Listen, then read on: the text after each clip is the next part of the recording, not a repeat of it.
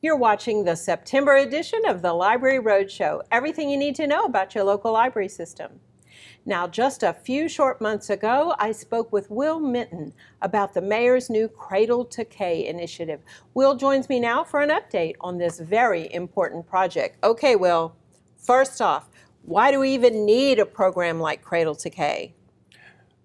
Cradle to K is really important because parenting is really hard. So what we're trying to do with Cradle to K is offer parents a very simple and clear framework that they can use to inform their daily habits with their children. And that framework is really grounded in our pillars of patience, curiosity, and conversation. And unlike so many other programs that are good for us, this is not a program where somebody just comes and lectures to you and says, do it this way. It's totally different. Exactly. So we really focus on sort of a facilitation model and a, an asset-based model, right? So we bring parents together and we give them opportunities for reflection around these different pillars.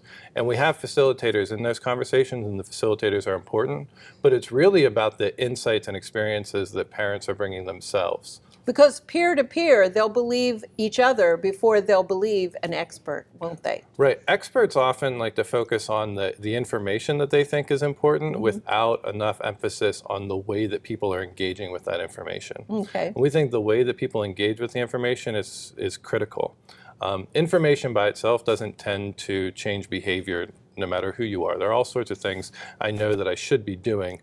Um, that I'm not doing. But with right? that peer group, in a way, it's kind of like exercise. If you're exercising with a peer group, eh, they're crackling along, and that whole cohort kind of moves forward a little bit. So what are we trying to do? We're not trying to exercise our bodies. Instead, we're trying to get parents to spend time with their children, to read to their children even before they're born mm-hmm. and to and to engage using those three pillars i especially love that you have patience in there that is so important so cradle to k has been in effect for a little bit more than a year what has actually taken place with this initiative so we've done a number of things. The first thing we did was talk with all the different partners who work in this space so we could figure out how we could sort of catalyze partnerships and add real value.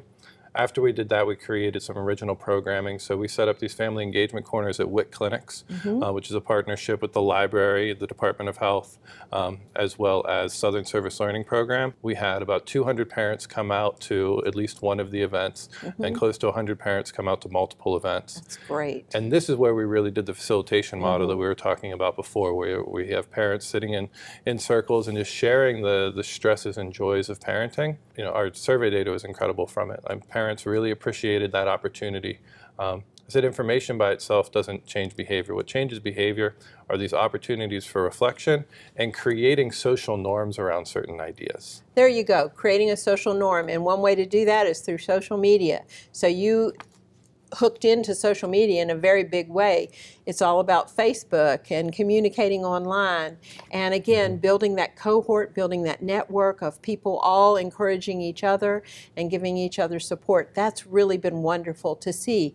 And Will, it's our people. It's it's East Baton Rouge families. It's our norms. It's not just something that's happening over in Chicago or Washington, D.C.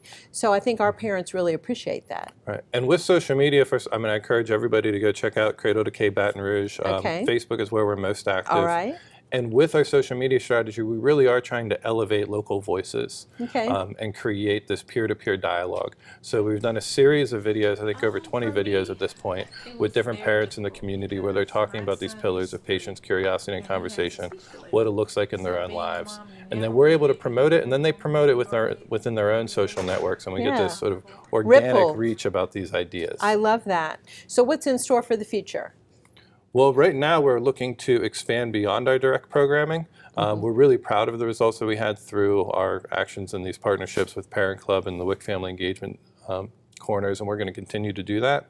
But right now, we're trying to get the message about our pillars uh, to come through all of our other partners as well. Okay. Right, so it's not just a, a, city initiative, but parents are seeing this through the school system, through the library, at public transit, at doctors' offices, and we want to get all of our partners around this common language so we have a clear message of what supportive parenting looks like. Right. After the break, Kim Noble Calhoun, plus a book review from one of our youngest library patrons.